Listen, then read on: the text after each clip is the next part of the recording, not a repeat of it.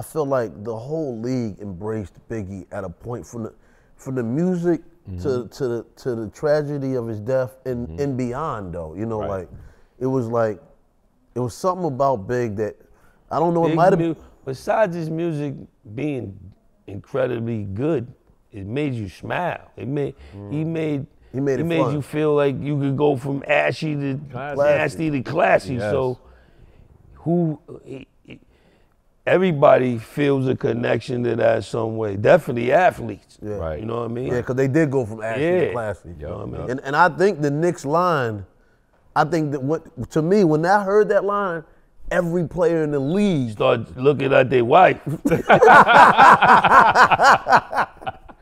DraftKings presents Starting Five live from the compound.